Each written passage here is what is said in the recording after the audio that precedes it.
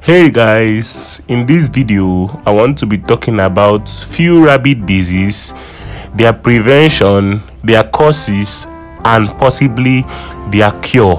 So as a rabbit farmer you are supposed to know all this. In case you see any of these in your rabbit either you will be able to prevent it or you can actually cure it. So in this our channel we teach you how to become successful rabbit farmers successful rabbit breeder and a pet owner. So if that's what you find interesting consider liking this video subscribe to our youtube channel if you're yet to subscribe and turn on the notification bell. So this um, rabbit you are seeing on the screen here is affected by the disease called mange mange disease is also caused through um, dirty environment. You will notice the rabbit will start having skin loss.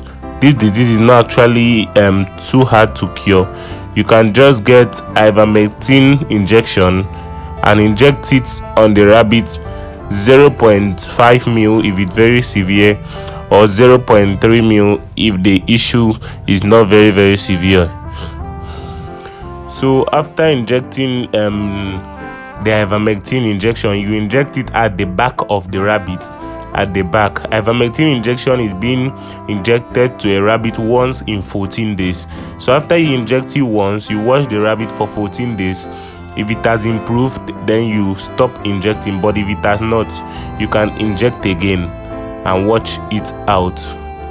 So the next disease on our screen here i want to be talking about is ear mite also known as ear canker.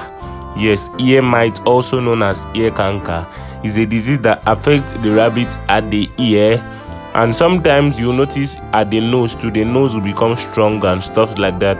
The disease affects the rabbit at the ear. One of the major causes of this disease is through dirty environment. Yes there is an insect that enters the rabbit's ear and starts eating it up. So their ear will start becoming very very strong as you have seen it on the screen so one of the ways you can actually prevent this particular disease is by keeping very clean hygiene. What if you keep uh, clean hygiene and by mistake you see this disease but it's very very rare. If your cages are clean and everywhere is clean you will hardly see this particular disease. If you keep your cages clean and you do all the necessary things and you see this kind of disease there are some few things you need to look out for. There are some few things you need to do. No need to um panic you can just inject the rabbit the same ivermectin. Ivermectin works for skin infection. Once in 14 days you inject it 0.3 or 0.5 depending on how severe the injury the um, ear mite is. Don't try to peel it. Just inject the ivermectin and it will be peeling on its own another thing you can also do to help the rabbit is to put in red oil inside the ear. Put in red oil yes. Put in red oil inside the ear that can also help yes. So keep clean hygiene and you won't see this particular disease. I assure you that. The picture you are seeing on the screen is the disease called heat stroke. Will i really call it a disease? This particular one has a season he has a season he actually comes during the heat season. When your cages are not well ventilated when your cage is not um spacious that air can actually come into your rabbit cage. When you are not giving your rabbits enough water that they require you might actually see this particular disease. When your rabbit is very dehydrated they are always dry. You don't give them a lot of water. Their cages are not well ventilated. You can actually see this particular disease. So i would advise you guys to make your cages very very well ventilated. As you guys know rabbits need a lot of air because they are very uh, hairy animals. They need a lot of air. So when once they can't get that air it affects them yes. So you need your cage to be very well ventilated and also give your rabbits enough water. Make sure water is always available for them to drink. What if you are doing all this and you see this particular disease? There are some few things you can actually do you need to wet the rabbit. When i say wet the rabbit you go to the rabbit cage from time to time and sprinkle it a little bit of water at least so that it will be um cold. It won't be hot. Sprinkle it a little bit of water from time to time and try giving it uh, a little bit of cold water. Don't be giving it warm water. Give it cold water at that period whereby it's having this particular disease and it will surely go. This one does not is not really a hard thing to cure yes just wet it. Make sure you put it in a place that is cold. Remove it from the actual position it was because that is actually not favorable for the rabbit. Put it in a place that you know um, has a lot of ventilation and you this particular disease will actually go away for sure. This particular one you are seeing on the screen here is called sore hock yes sore hock it actually comes under the rabbit leg yes under their foot this particular disease is caused due to um the kind of wire mesh you are using on your rabbit's cage. If your wire mesh is not really suitable for your rabbit if the wire mesh is very very sharp it can actually be affecting the rabbits under their foot. So they might end up having this particular wound you are seeing here. Yes that's why i advise people to uh, make sure they put very good wire mesh that will not affect their rabbit especially the heavy rabbit because sometimes even when your wire mesh is good and you have a very very heavy rabbit it might actually have this wound under. So sometimes i tell people that if you have um a heavy rabbit a very heavy rabbit make sure you put soft bedding or a soft plank inside that cage that the rabbit can actually be resting its foot based on all the weight is on the leg. As you guys know they stand on their back leg.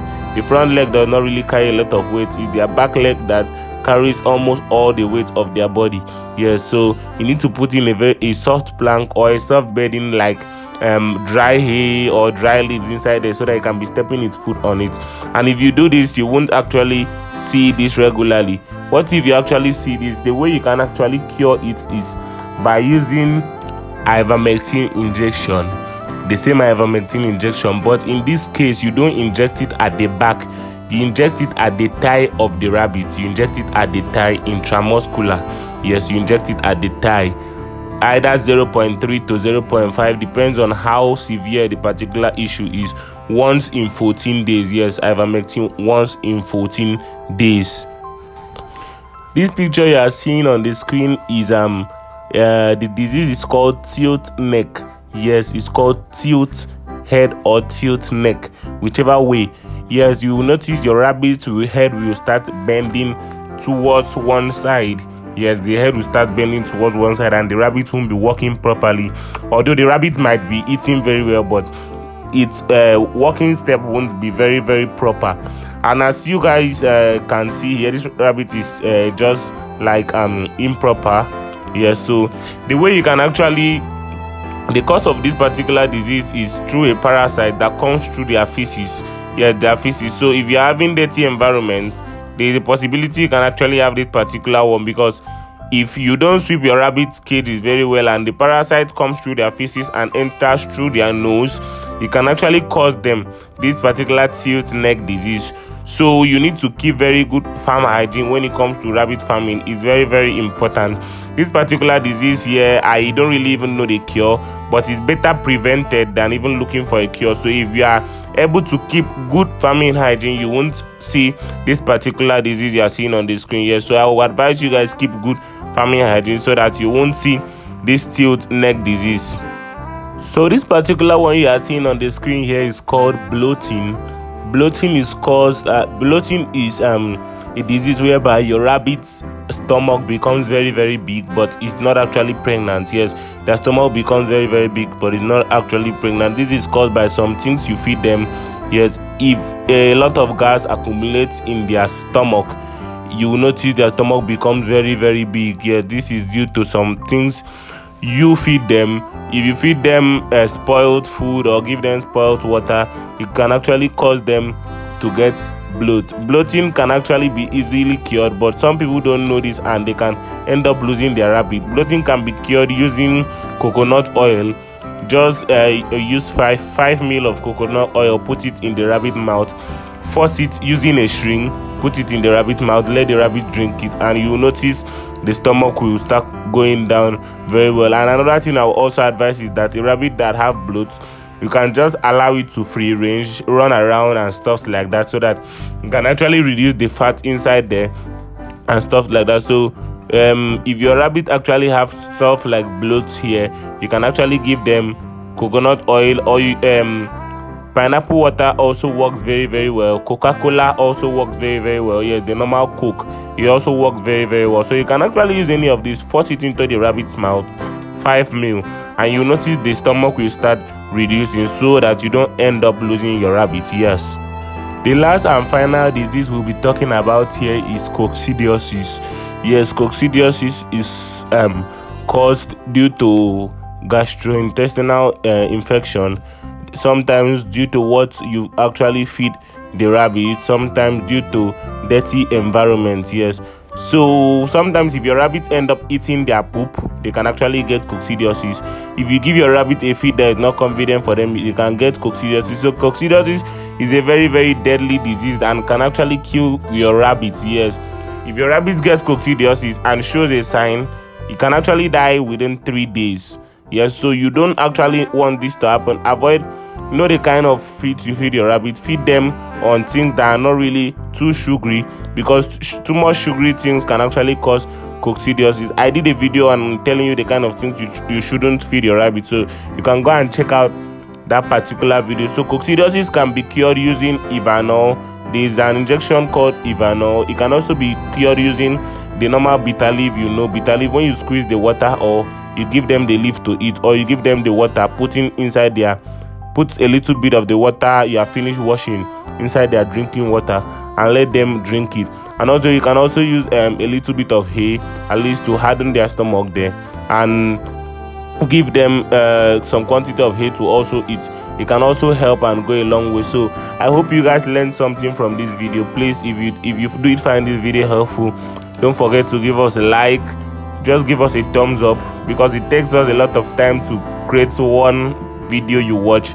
Give us a thumbs up like comment subscribe to this channel if you want more tips on rabbit farming. And turn on the notification bell so that when we post a new video you get notified by youtube. Thank you guys once again and do have a nice day. And as i always say until next time peace out